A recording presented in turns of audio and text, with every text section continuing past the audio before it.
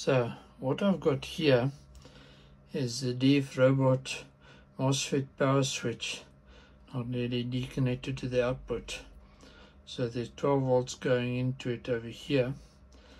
This is opto-coupled and it is a power switch which means that you can't do PWM control with it because it's not fast enough.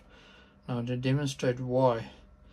So over here we've got our little screen with a rotary encoder, Arduino Uno, and on the scope the yellow is the output from the Uno and the blue is the output from the switch.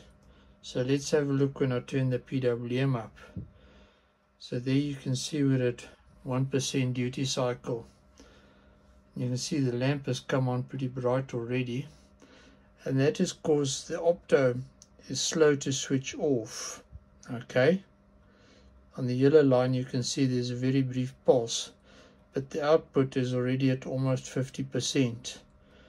That's because the opto is slow.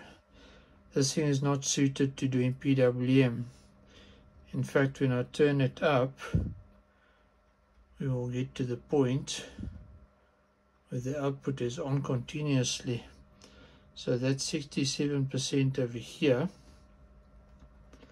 And there you can see the output is already continuously on. We're at 100% so this is fine if you're controlling loads which you want to turn on and off at a slow duty cycle. But you can't do PWM with it. Not fast anyway. You'd have to do like one hertz that type of stuff.